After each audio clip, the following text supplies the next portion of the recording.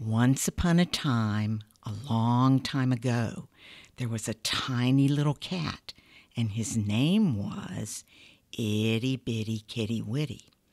It was time for daily devotion, so the gang was gathering in the conference room. It's so pretty. We should be doing this outside in the courtyard, said Mr. Jim. That would be awesome, said Church Mouse, if we just didn't get so distracted outside. Everybody giggled because they knew that was true. Who's doing devotions today? asked Itty Bitty. Me, said Gunther. Oh, cool, said Itty Bitty. What's our theme? Children, said Gunter.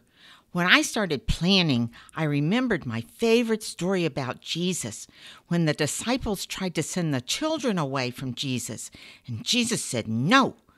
Jesus was never too busy or thought he was too important to talk to or be with anyone. Jesus loved everybody, especially the little children. And that's how I know he loves us. Yeah, yeah, that's right. Yeah, yeah, yeah, yeah, yeah. Let's sing a song, said Itty Bitty.